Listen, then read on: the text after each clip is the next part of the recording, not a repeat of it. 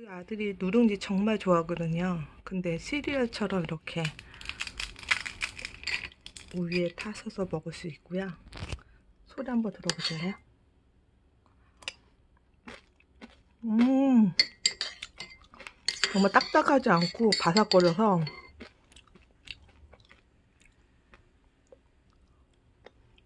음, 진짜 맛있네요. 그 다음에 요거는 뜨거운 물만 넣으셔가지고 누룽지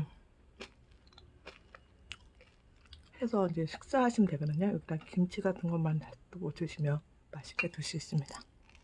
지금 뜨거운 물 부어놨으니까 뜨거운 물 붓고 나서 이렇게 덮어주세요.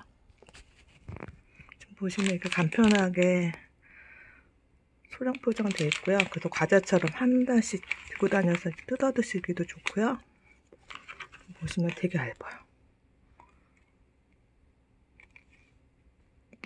현미로 만들어서 되게 고소하고요. 딱딱하지도 않아서 먹기도 좋으시고